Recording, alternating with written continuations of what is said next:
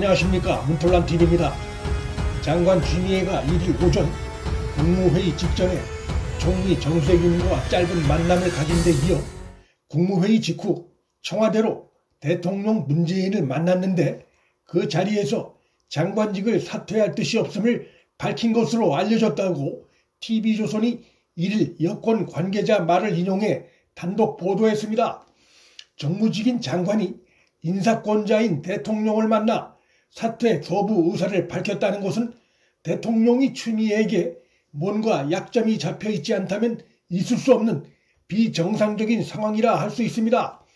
장관 추미애가 대통령 문재인을 면담하기 전날 총리 정세균이 대통령 문재인을 만나 윤석열과 추미애 동반 퇴진론을 건의한 것이 언론에 공개된 바 있는데 바로 그 다음날 추미애가 국무회의 직전에 총리 정세균을 만나고 이어 국무회의 직후에 대통령을 만나 사직 의사가 없음을 밝힌 것은 정 총리와의 만남에서 전날 대통령 문재인과 사이에 나온 동반 퇴진론에 대한 상황 파악을 하고 문재인을 만나 사퇴 거부 의사를 밝힌 것으로 보입니다.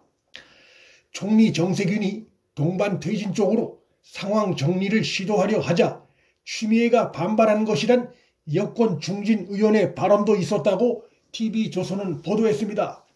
이날 문재인과의 만남은 추미애의 요청에 의한 것이었음을 법무부도 뒤늦게 확인했는데 이것은 그만큼 자신의 사퇴 문제에 관련해 추미애가 민감해하고 있다는 것을 보여주는 것이라 할 수 있습니다. 이 같은 관측을 뒷받침하는 그간의 추미애 행태도 있었습니다.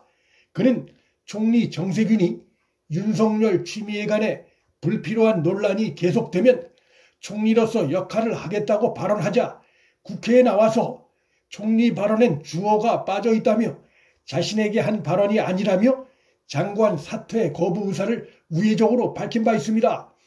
추미의 윤 총장 겨냥한 집요한 공격으로 논란이 계속되자 열받은 듯한 총리 정세균이 다시 윤석열은 자숙하고 추미애는 점잖고 냉정해지라는 구체적인 주문을 하자 추미애가 검찰개혁 완수 때까지 장관직을 물러날 생각이 없다고 맞받아쳤습니다. 장관이 자신의 거취 문제를 두고 대통령과 총리와 갈등을 빚고 있는 기현상이 벌어지고 있는 상황입니다. 하지만 1일 오후 법무부 감찰위원회에서 윤 총장에 대한 직무정지와 징계의 회부 조치가 불법이고 부당하다는 결론이 나온 데 이어 행정법원에서도 윤 총장 직무 배제를 중단하라고 판결함으로써 취미의 이러한 오만한 행태는 그 기세가 크게 꺾일 수밖에 없게 됐습니다.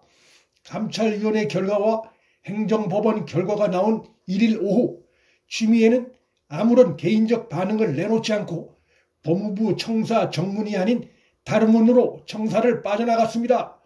이날 취미애를 코너에 빠뜨린 또 한 가지 돌발 상황이 발생했습니다.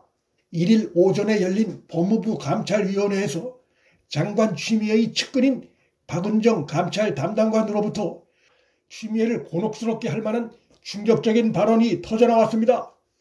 역시 감찰위원회에 참석한 박은정의 상급자이자 법무부 감찰 업무 최고 책임자인 류혁 감찰관이 윤 총장에 대한 일련의 감찰 과정을 왜 자신에게 보고하지 않았는지 이유를 묻자 보안을 유지해야 하니 뉴욕 감찰관을 패싱하라는 장관 추미애의 지시 때문이었다고 폭로성 발언을 했습니다.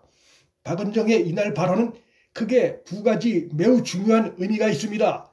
첫째는 자신의 상급자인 뉴욕 감찰관에게 보고하지 않았다는 것을 공개 석상에서 시인한 것이고 둘째는 그것이 보안을 이유로 한 장관 추미애 지시 때문이었다는 점을 실토한 것입니다. 법무부 감찰 규정에 따르면 진정 비의사항 조사 처리에 필요한 사항은 감찰관이 정한다고 명시돼 있고 감찰 담당 직원이 사정 활동을 통해 수집한 자료는 신속히 감찰관에게 서면으로 보고해야 한다고 분명히 규정돼 있습니다. 이 같은 규정은 합당한 사유가 없는 한 감찰 담당 직원이라면 반드시 따라야 하는 의무 규정입니다. 따라서 박은정이 그간 뉴욕 감찰관을 패싱해 윤 총장 감찰을 벌인 행위는 명백한 규정 위반에 해당합니다. 그런데 이날 박은정은 그것이 보안을 이유로 한 장관 주미의 지시 때문이었다고 발언한 것입니다.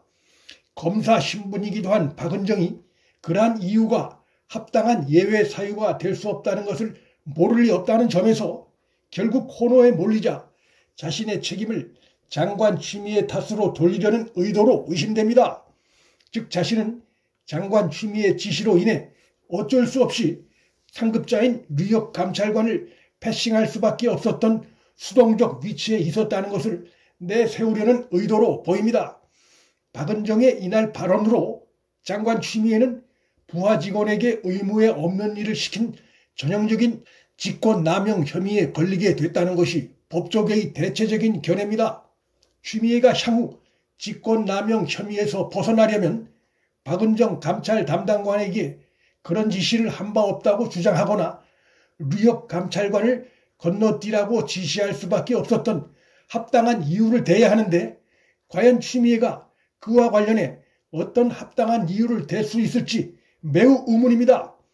박은정은 그간 법무부 청사가 아닌 별도의 사무실 공간을 따로 얻어 일하며 취미애와 긴밀히 연락하고 점심도 자주 같이 하는 등 매우 가까운 관계였던 것으로 알려져 있으나 이날 발언으로 취미애와 박은정이 향후에도 지금까지처럼 밀착 관계를 유지할 수 있을지 미지수가 됐습니다.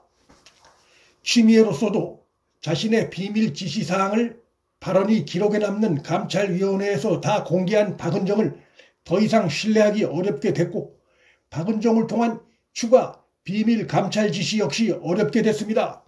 위법임을 알면서도 같은 불법을 저지른다면 가중처벌감입니다.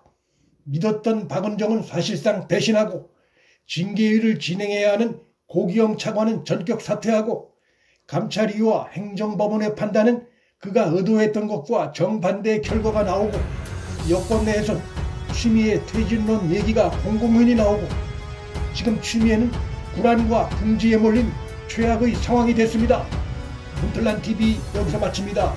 구독과 좋아요 방송 공유는 방송 제작에 큰 힘이 됩니다. 시청해 주셔서 감사합니다.